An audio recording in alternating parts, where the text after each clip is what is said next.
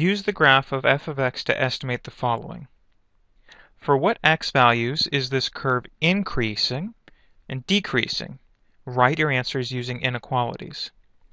So increasing and decreasing is as we move from left to right, what is happening to the curve? So, as I start from the left, the curve is increasing until it reaches this point, and then it decreases.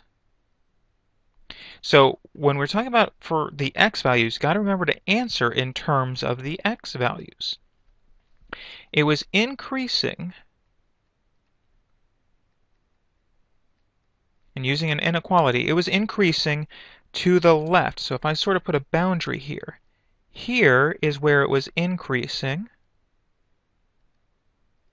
And then to the right of that boundary is where it was decreasing. So it was increasing where x was less than 2, decreasing where x is greater than 2. The vertex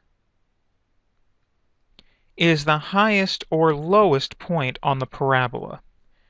In this case, that's our vertex. The vertex is an ordered pair. So the vertex is the ordered pair 2, 6. X-intercepts. The x-intercepts are the points where the curve cross the x-axis. So there's one, and there's another. It does, it does say to estimate, so I'm going to say it's about negative 0.5 comma 0 and 4.5 comma 0. X-intercepts are ordered pairs.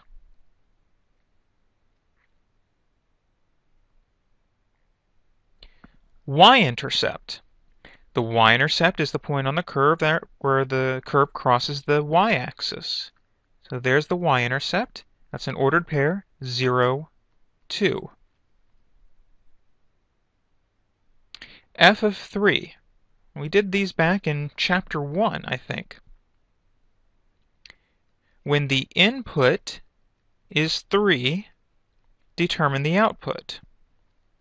When the input is 3, the output looks to be about 5. So I would say that f of 3 is equal to 5. What value or values will make f of x equal to negative 10? Where is the output negative 10? This point and this point. So there are two x values that make that y value negative 10. At negative 2 and at positive 6.